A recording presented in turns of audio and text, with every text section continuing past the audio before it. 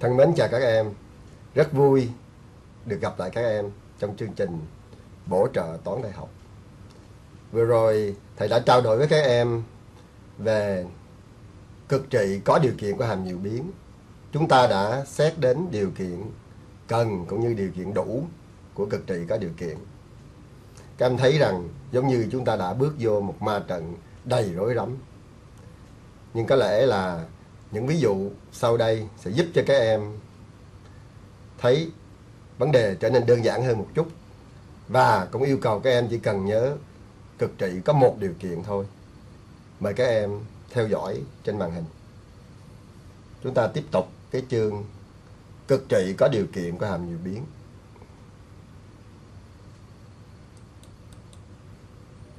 Bây giờ chúng ta xét thêm một ví dụ nữa với anh là bằng 3 em là bằng 1 ví dụ này đơn giản hơn ví dụ trước, do đó chúng ta đọc lướt qua thôi, chúng ta không cần phải dừng lại lâu ở ví dụ này. Tìm cực trị của hàm ba biến, thỏa một điều kiện. Ở đây anh là bằng 3 là ba biến, em bằng 1 là một điều kiện. R bằng 0 khi đó chúng ta có là h2 âm h3 âm, thì hàm f đạt cực tiểu thỏa điều kiện r bằng 0 tại 0. Cái trường hợp này cũng giống như hồi nãy thôi, nó đơn giản hơn. Chúng ta nhắc lại thôi. Nhắc lại thôi. Do đó nên chúng ta qua nhanh cái phần này. Tương tự như vậy, nếu như H2 dương và H3 âm thì chúng ta có hàm F đạt cực đại thỏa điều kiện R bằng 0 tải Zero Nó giống như trường hợp trước thôi mà nó đơn giản hơn. Do đó chúng ta qua nhanh cái phần này. Tương tự như vậy, khi anh là bằng 4 và em bằng 2, chúng ta tìm cực trị của hàm 4 biến thì x1, x2, x3, x4 thỏa hai điều kiện R1 bằng 0 và R2 bằng 0 thì cái này nó phức tạp hơn một chút. Cái này các em cũng xem qua cho biết, cái yêu cầu các em nhớ một điều kiện là được rồi.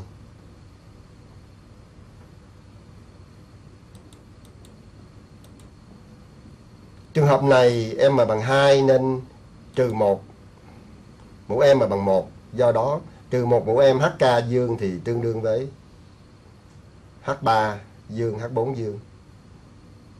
Trường hợp này thì F đạt cực tiểu thỏa hai điều kiện R1 bằng 0 và R2 bằng 0. Tương tự như vậy, trường hợp các H lệ âm và H chẳng dương thì F đạt cực đại thỏa điều kiện R1 bằng 0 và R2 bằng 0. Thì cái này các anh xem qua cho biết thôi. Yêu cầu các em nhớ là trường hợp em bằng 1 là đủ rồi.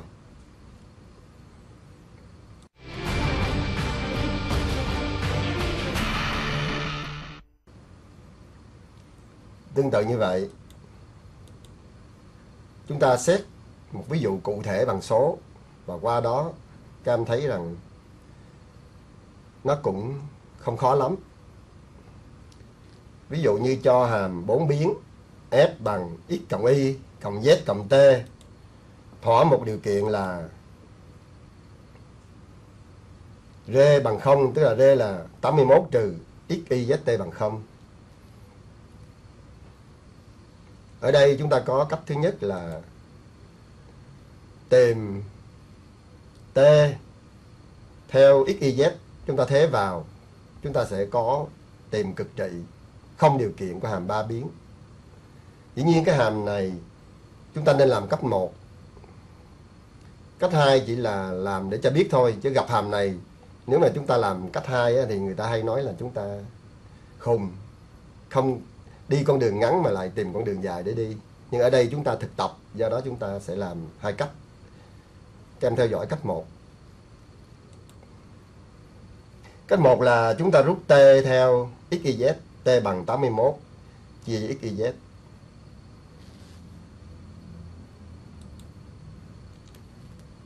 Chúng ta thế t vào đây thì chúng ta có cái hàm f nhỏ chúng ta theo bốn biến x, y, z, t thành hàm f lớn. Có ba biến. X, y, z là bằng x cộng y cộng z. Chúng ta giữ nguyên và thay t bằng 81 chia cho x, y, z. Đó. Vấn đề còn lại của chúng ta là tìm cực trị không điều kiện của hàm ba biến. Và điều này chúng ta đã biết trong chương trước rồi.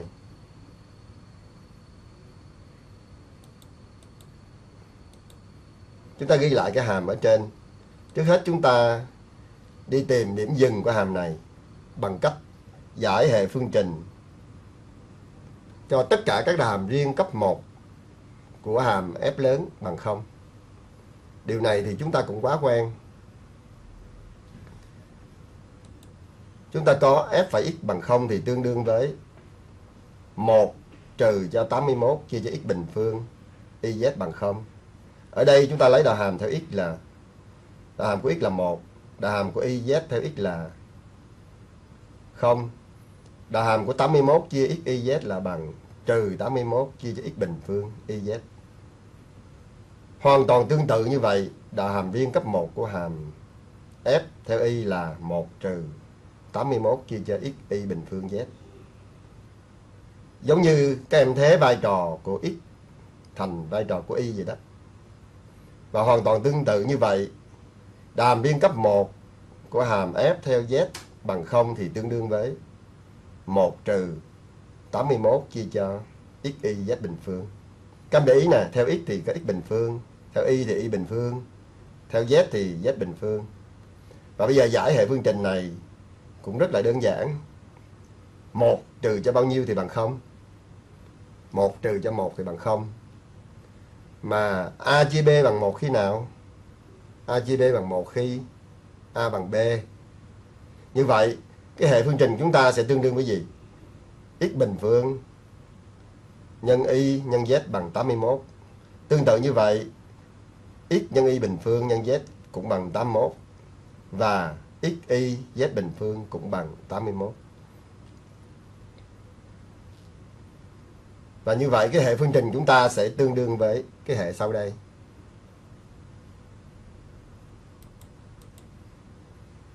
Đó, x bình phương y z bằng 81. x y bình phương z bằng 81. x y z bình bằng 81. Với cái hệ này các em rất là quen thuộc ở với phổ thông. Bây giờ các em chỉ cần lấy 1 chia cho 2 các em được là gì? X chia Y bằng 1. Lấy 2 chia cho 3 các điệp là Y chia Z bằng 1. Rồi lấy 1 chia cho 3 các điệp là X chia Z bằng 1.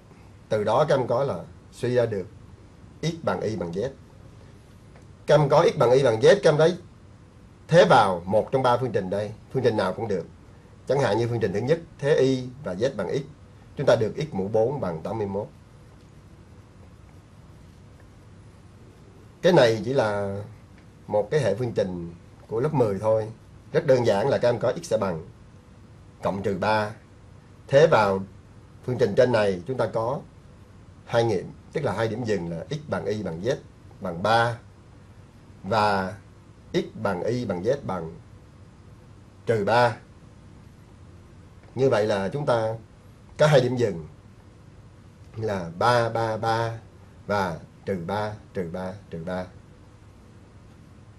Bây giờ chúng ta xét tại từng điểm dừng 1. Bây giờ chúng ta đặt điểm dừng thứ nhất là em, điểm dừng thứ hai là anh nè. Sau khi tìm điểm dừng rồi chúng ta tiếp tục lấy các đàm riêng cấp 2 của hàm f lớn thì chúng ta có A11 chính là đàm riêng cấp 2 của hàm F theo biến x 2 lần là bằng 162. 162 này tức là 2 nhân với 81. 81 chính là 3 mũ 4 đó. Chia cho x mũ 3 YZ. Hoàn toàn tương tự như vậy. Đạo hàm viên cấp 2 của hàm F thì biến y hai lần chúng ta đặt là A22 cũng bằng 162 chia cho x y mũ 3 nhân z. Và hoàn toàn tương tự như vậy, đàm hàm liên cấp 2 của hàm f theo biến z hai lần, đặt là A33 cũng bằng 162 chia cho x, y, z mũ 3. Thật ra các em chỉ cần lấy một trong ba cái này được rồi. Bởi vì đối với hàm f lớn này, vai trò của x, y, z như nhau. Các em lấy một trong ba cũng được rồi. Hai cái kia hoàn toàn tương tự. Rồi bây giờ các em lấy các đàm riêng cấp 2 hỗn hợp.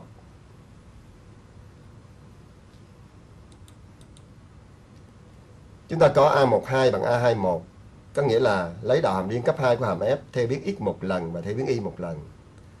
Thì bằng 81 chia cho x bình phương y bình phương z.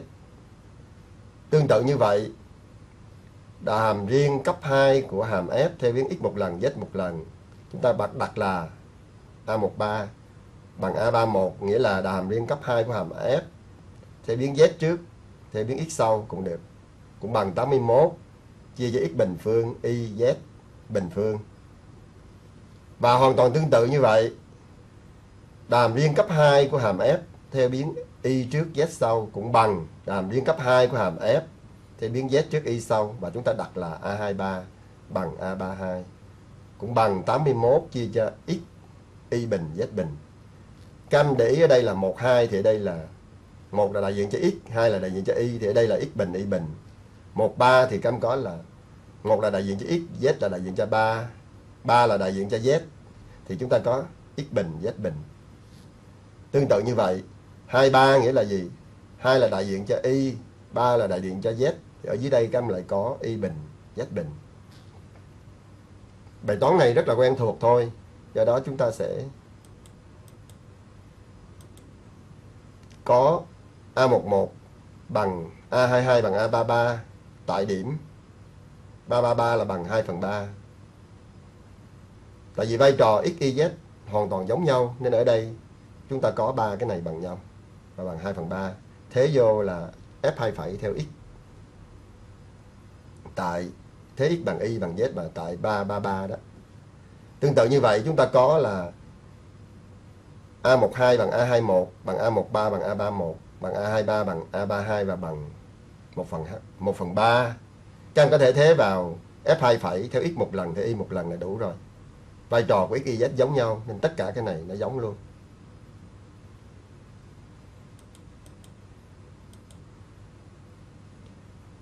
Với các AEG như trên thì chúng ta có H1 là bằng A11 là bằng 2 phần 3 dương.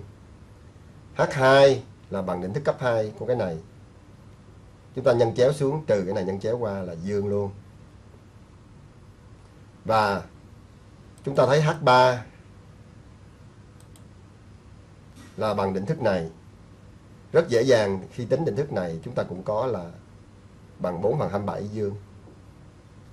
Có H1, H2, H3 dương. Các em kết luận được gì? Các em nhớ lại là cực trị không điều kiện. Tất cả đều dương. Nghĩa là thế giới chỉ toàn đàn ông. Sẽ diệt vong tức là đạt cực tiểu. Ở đây chúng ta sẽ có hàm F lớn. Hàm F lớn đạt cực tiểu tại M có tọa độ là 3, 3, 3 tức là x bằng 3, y bằng 3 và z bằng 3 và vì t bằng 81 chia cho x, y, z nên chúng ta thế vào đây chúng ta cũng tìm được t bằng 3 từ đó chúng ta suy ra hàm f nhỏ đạt cực tiểu thỏa điều kiện XYZT trừ 81 bằng 0 đó tại điểm m phải có tọa độ là 3, 3, 3, 3 nghĩa là x bằng 3, y bằng 3, z bằng 3 và t bằng 3. Chúng ta xét tại điểm 3, 3, 3 rồi, bây giờ chúng ta xét tại điểm trừ 3, trừ 3, trừ 3. Hoàn toàn tương tự như vậy. Các em thấy rằng là các đạm viên cấp 2 đó nó là một hàm lễ do đó nên tại điểm này tất cả các IEG đều đổi dấu. Tất cả các IEG đều đổi dấu. Do đó chúng ta có thể tính H1, H2, H3 theo H1, H2, H3 tại điểm M. Nghĩa là gì? H1 là định thức cấp 1 nên tất cả các AEG đổi dấu nên H1 là bằng trừ cái H1 hồi nãy. H2 là định thức cấp 2 nên nó không đổi dấu. Nó bằng là H2 hồi nãy. Và H3 là định thức cấp 3 nó bằng trừ cái định thức hồi nãy nên đổi dấu. Và như vậy chúng ta có là H1 bây giờ là âm, hồi nãy H1 dương. H2 hồi nãy dương bây giờ cũng dương. Và H3 hồi nãy là dương, bây giờ sẽ là âm. Và H3 hồi nãy dương bây giờ âm. Chúng ta có các H lệ âm và H chẳng dương. Điều đó cho chúng ta nhớ đến một kết quả của định lý là gì? Có nam có nữ. Thì hàm F đạt cực đại. Chúng ta suy ra hàm F lớn. Hàm F lớn của chúng ta sẽ đạt cực đại tại trừ 3, trừ 3, trừ 3. Và vì T bằng 81 trên XYZ nên thế vào đây chúng ta cũng tìm được T bằng trừ 3. Từ việc đạt cực đại của hàm F lớn chúng ta suy ra hàm F nhỏ của chúng ta đạt cực đại thỏa điều kiện là x nhân y nhân z nhân t bằng 81 tại một điểm. Chúng ta đặt là n phải có tọa độ là x bằng trừ 3, y bằng trừ 3, z bằng trừ 3 và t bằng trừ 3.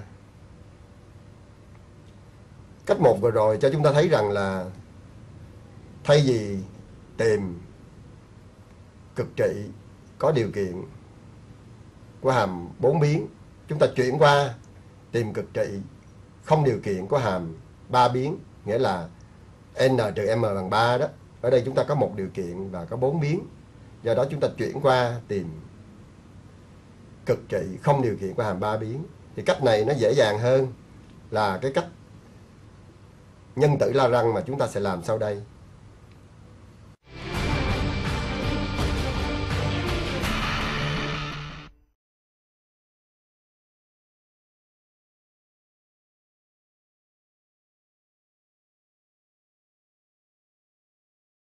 Chúng ta viết lại đề toán. Tìm cực trị của hàm f bằng x cộng y cộng z cộng t. Thỏa điều kiện r bằng 0 điều kiện r bằng 0 có thể tương đương với điều kiện là x, y, z, t bằng 81 đó. Bây giờ chúng ta làm theo phương pháp nhân tử la răng. Nghĩa là chúng ta đặt hàm phi. Chúng ta đặt hàm phi chúng ta là bằng hàm f cộng lambda r. Hàm phi chúng ta bây giờ là có 5 biến x, y, z, t và thêm biến lambda nữa. Bây giờ các em tìm điều kiện cần bằng cách là gì? Các em xét giống như là cực trị không điều kiện của hàm 5 biến x, y, z, t và lambda. Thì để tìm điều kiện cần của hàm phi theo 5 biến thì chúng ta làm một cái điều rất quen thuộc là gì? Cho tất cả các đạo hàm riêng cấp 1 của hàm phi này theo năm biến x, y, z, t, lambda bằng 0. Do đó điểm dừng của chúng ta là nghiệm của hệ phương trình gồm 5 phương trình là đạo hàm riêng cấp 1 của hàm phi theo lambda là chính là hàm r đó. Hàm r đây. Bằng 0. Đạo hàm riêng cấp 1 của hàm phi theo biến x bằng 0. Đạo hàm riêng cấp 1 của hàm phi theo biến z bằng 0. Đạo hàm riêng cấp 1 của hàm phi theo biến y cũng bằng 0. Đạo hàm riêng cấp 1 của hàm phi theo biến t cũng bằng 0. Năm cái phương trình này nghĩa là gì? Nghĩa là tất cả các đạo hàm riêng cấp 1 của hàm phi theo năm biến x, y, z, t đều bằng 0. Chúng ta làm một công việc giống hệt như là chúng ta tìm cực trị không điều kiện của hàm năm biến. Giải hệ phương trình này thì nó cũng chỉ là kiến thức của lớp 10 thôi. Giải hệ phương trình trên chúng ta có kết quả là x bằng y bằng z bằng t bằng 3 và lambda bằng 1 phần 27. Và có một nghiệm nữa là x bằng y bằng z bằng t bằng trừ 3. Lambda bằng trừ 1 trên 27. Chúng ta thấy kết quả này cũng giống như kết quả của cách 1 ở trên đó. Có điều cách làm này thì nó dài dòng hơn. Ở đây chúng ta thực tập chúng ta làm cách này. Còn nếu trong thực tế mà gặp bài toán này mà làm cách này thì không nên chút nào bởi vì nó quá dài và quá phức tạp hơn cấp 1.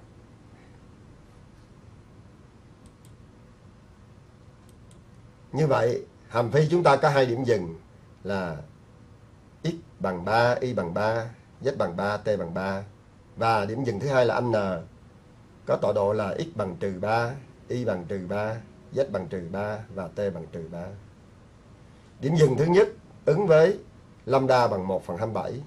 Điểm dừng thứ hai ứng với lambda bằng trừ 1 phần 27. Sau khi có điểm dừng rồi, chúng ta tiếp tục tìm các đạo hàm riêng cấp 2 của hàm phi theo xy, xz, yz, rồi theo x hai lần, theo y hai lần, theo z hai lần, rồi theo t hai lần,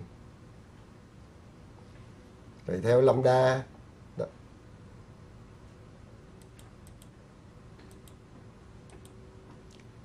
chúng ta có đây là đạo hàm riêng cấp 2 của hàm phi theo lambda một lần thì x một lần chính là đạo hàm riêng cấp 1 của hàm r theo biến x, là chúng ta lấy đạo hàm riêng cấp 1 cái này thôi, là bằng trừ yzt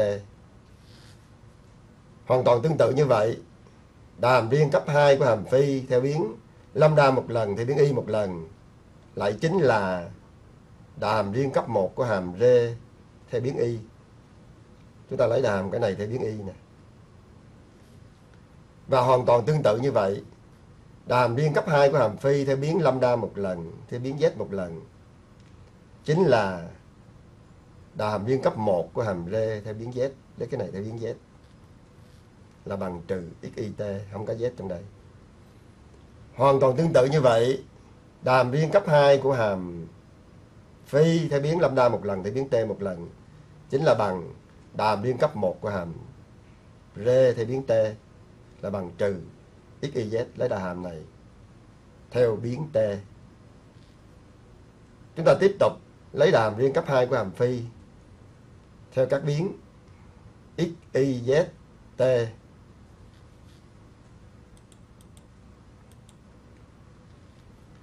Chúng ta có đạo hàm riêng cấp 2 của hàm phi thì biết hai lần. Giống như đàm riêng cấp 2 của hàm phi thì mới hai lần. Và bằng đàm riêng cấp 2 của hàm phi theo biến z 2 lần. Bằng đàm riêng cấp 2 của hàm phi theo biến t 2 lần. Là bằng 0. Từ đó chúng ta suy ra được là các A11, A22, A33, A44 bằng 0.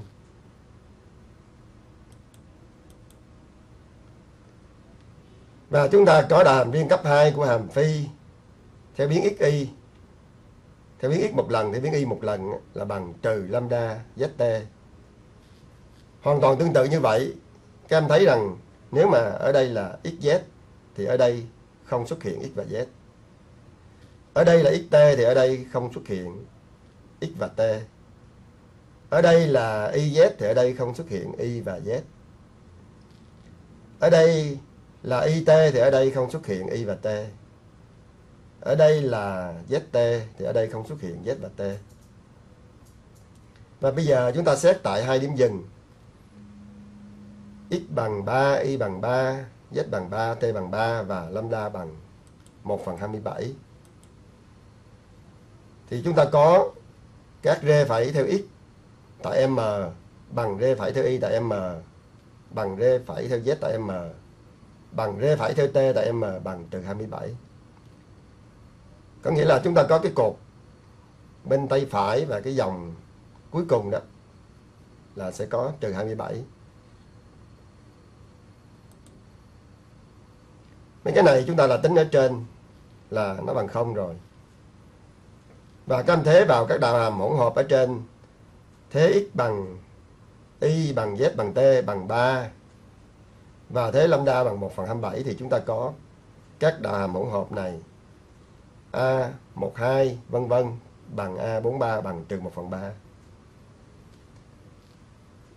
Với những dữ liệu này chúng ta thế vào các HK chúng ta sẽ có những con số cụ thể để có thể kết luận rằng nó đạt cực đại hay cực tiểu tại cái điểm M.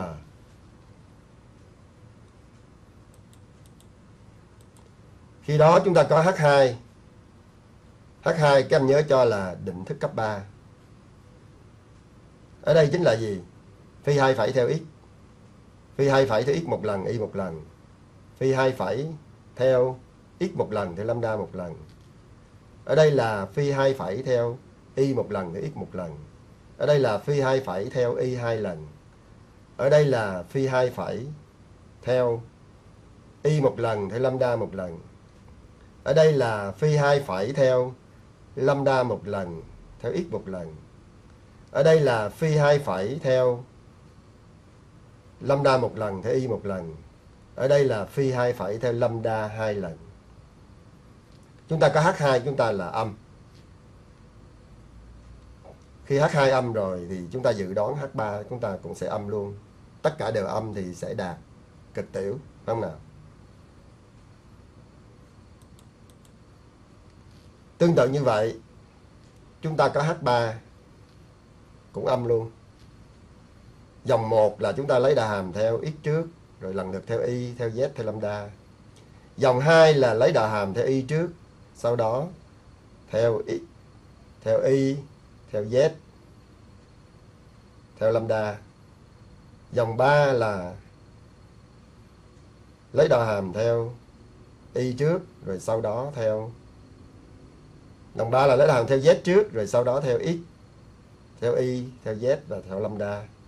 Dòng 4 là lấy đà hàm theo lambda trước, rồi sau đó theo x, theo y, theo z và theo lambda. Chúng ta có H3 cũng âm luôn. Và chúng ta tiên đoán rằng H4 cũng sẽ âm. Đó, H4 thì tương tự như vậy. Dòng 1 là chúng ta lấy đà hàm theo x trước, rồi sau đó là x, y, z, t và lambda. Dòng 2 chúng ta lấy đại hàm theo y trước, rồi sau đó là x, y, z, t và lambda. Dòng 3 chúng ta lấy đại hàm theo z trước, rồi sau đó là x, y, z, t và lambda. Dòng 4 là chúng ta lấy đại hàm theo t trước và sau đó là x, y, z, t và lambda. Dòng 5 là chúng ta lấy đại hàm theo lambda trước và sau đó là x, y, z, t và lambda. Tương tự như trên chúng ta có H4 cộng âm. Từ đó chúng ta thấy rằng chúng ta có gì? H1. Chúng ta khỏi cần tính. H2 âm, H3 âm, H4 âm. Chúng ta có kết luận gì? Tất cả đều âm phải không nào? Chúng ta có là trừ một mũ M mà HK bằng trừ HK là dương. Nghĩa là tất cả các HK đều âm. Với mọi ca chạy từ 1 tới 4. Ở đây chúng ta không cần xét H1. Chúng ta xét từ ca từ 2 tới 4 cũng đủ rồi. Bởi vì H1 của chúng ta là luôn luôn âm rồi. Chúng ta suy ra hàm F chúng ta đạt cực tiểu thỏa điều kiện như ở trên đó là x nhân y nhân z nhân t bằng 81 tại điểm M có tọa độ x bằng 3, y bằng 3, z bằng 3 và t bằng 3.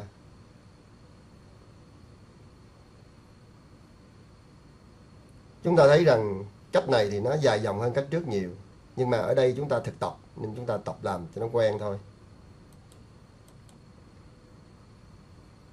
Hoàn toàn tương tự như vậy. Chúng ta bước qua xét tại điểm trừ 3, trừ 3, trừ 3. Với lambda tương ứng là bằng trừ 1 phần 27. Cũng giống như trên đó, chúng ta thấy rằng cái định thức bây giờ là bằng định thức của cái ma trận trừ cái ma trận hồi nãy. Do đó chúng ta có gì? Chúng ta có H2 hồi nãy, H2 là định thức cấp 3. H2 hồi nãy âm thì bây giờ H2 bây giờ trừ cái H2 hồi nãy tức là định thức cấp 3 nên trừ là bằng dương. H3 lại là định thức cấp 4 tức là bằng chính cái H3 hồi nãy lại là âm. H4 bây giờ là gì? Là định thức cấp 5 nó trừ cái định thức hồi nãy, mà hồi nãy là âm, bây giờ là dương. Bây giờ chúng ta có các h chẳng dương và các h lại âm. Các h chẳng dương, do đó chúng ta kết luận rằng hàm f của chúng ta, cái này chúng ta không cần xét cũng được. Các em kia đấy là h chẳng thì dương và h lại âm nè, nó tương ứng với cái này. Và lúc đó chúng ta có hàm f chúng ta là đạt cực đại, có điều kiện. Tức là điều kiện gì? X nhân y nhân z bằng 81 tại cái điểm n này này, đó.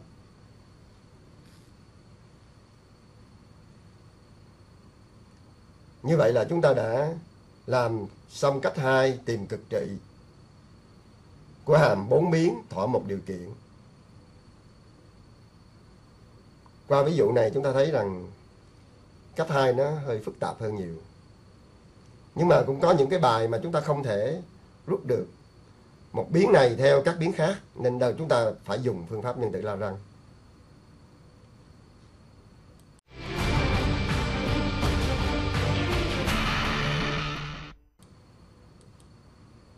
Và cái ví dụ sau đây của chúng ta sẽ cho các em thấy rằng là chúng ta không có rút được x, y, z theo cái biến khác. Tức là không rút được x theo y, z hoặc là rút y theo x, z hoặc là rút z theo x, y.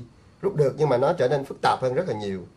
Do đó chúng ta không có rút, và chúng ta dùng phương pháp nhân tự lao răng cho cái ví dụ sau đây. Ví dụ là chúng ta có hàm 3 biến, f bằng 2x cộng y cộng 3z thỏa, tìm cực trị của hàm này, thỏa một điều kiện là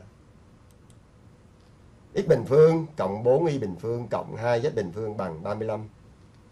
Ở đây các em thấy rằng nếu các em rút x theo y-z thì nó cũng bằng căn bậc 2 của một cái hàm cũng khá phức tạp. Rút y theo x và z thì các em thấy rằng nó cũng bằng căn bậc 2 của một hàm tương đối phức tạp rút z theo xy thì nó cũng bằng căn bậc hai một hàm tương đối phức tạp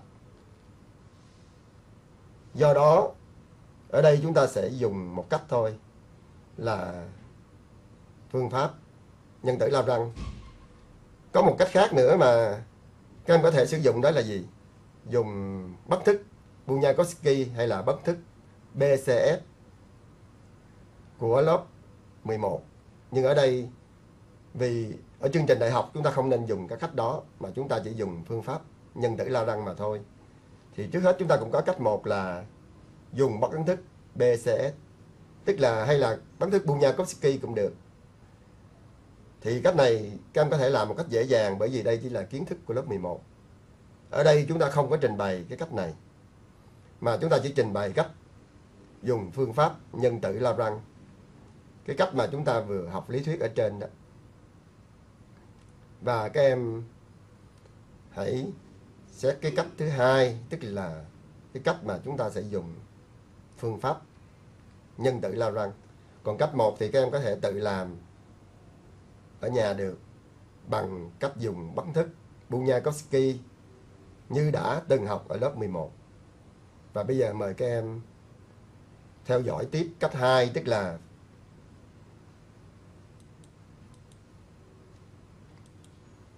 dùng phương pháp nhân tử Lagrange. Ở đây là chúng ta chép lại cái đề thôi, chúng ta chép lại cái đề ở trên.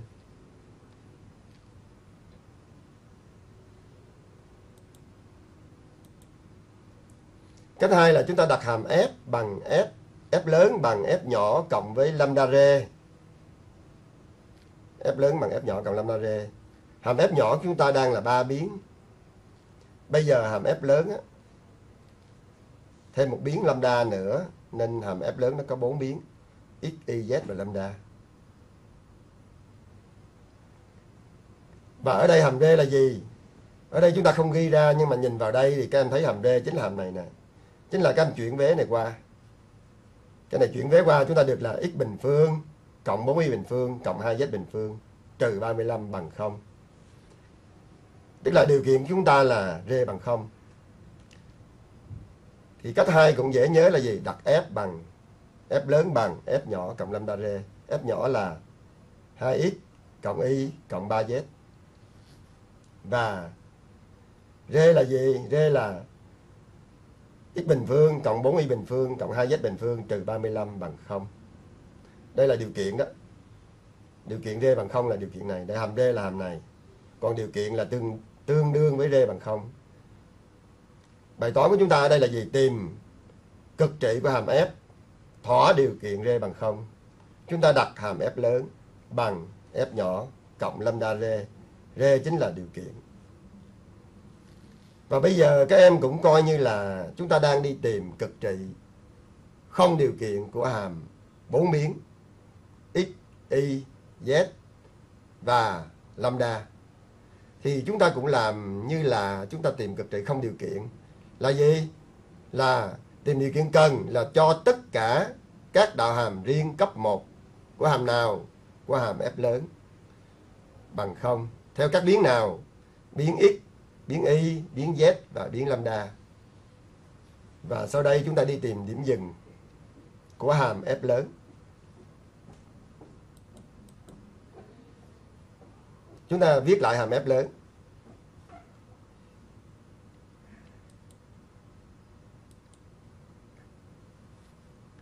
Điểm dừng là gì? Là nghiệm của hệ phương trình là tất cả các hàm riêng cấp 1 của hàm f lớn bằng 0.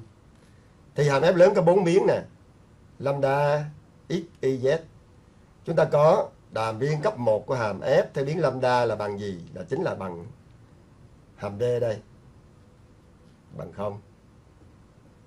Đàm riêng cấp 1 của hàm f theo biến x là gì?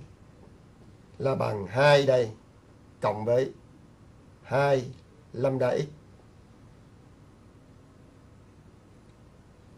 Đàn riêng cấp 1 của hàm f lớn này theo biến y là gì? Là bằng 1 ở đây phải không? Và ở đây là 8 lần lambda y. Tương tự như vậy, đàm riêng cấp 1 của hàm f theo biến z là gì? Là 3 đây. Và đà hàm riêng theo biến z là gì? 4 lần lambda z 4 lần lambda z cái hệ phương trình này là gì? Là tất cả các đạo hàm riêng cấp 1 của hàm f lớn bằng 0 những đàm riêng cấp 1 của hàm f lớn là gì? Là đàm riêng cấp 1 theo lambda theo x theo y và theo z. Ở đây chúng ta coi như là chúng ta đang tìm cực trị không điều kiện của một hàm bốn biến x, y, z và lambda. Cái hệ phương trình này rất là dễ giải và nó chỉ là kiến thức của lớp 10 thôi. Các em có thể giải hệ phương trình này một cách dễ dàng.